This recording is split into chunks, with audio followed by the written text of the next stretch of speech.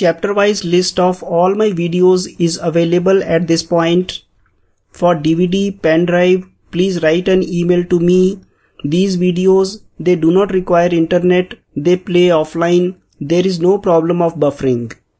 And please subscribe to my channel for regular updates. Thank you. Thank you for your support once again.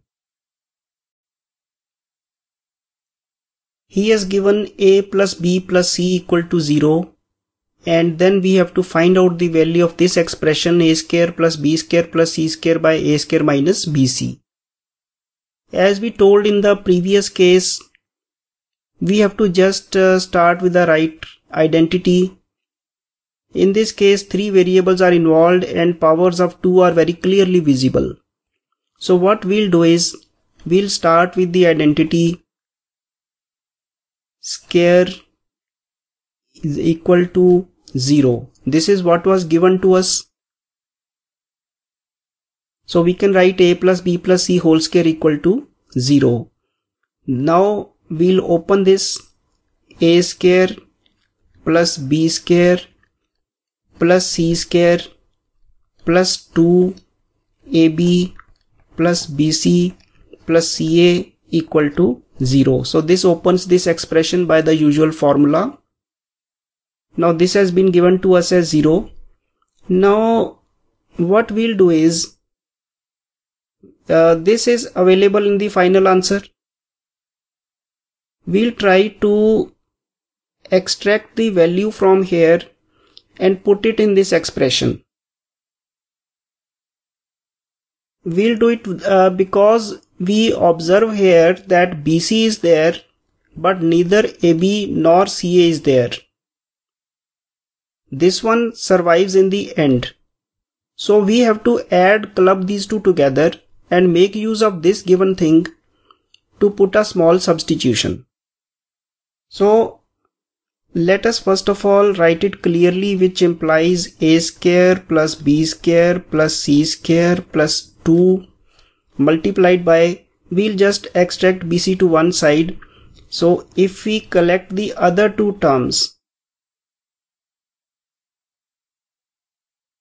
then we get this one because this term and this term they are collected into this one.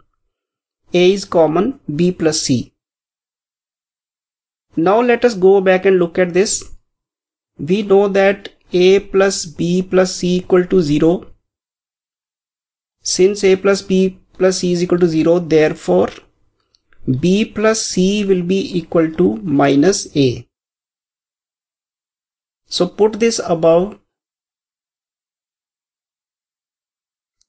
which implies a square plus b square plus c square plus 2 into a multiplied by b plus c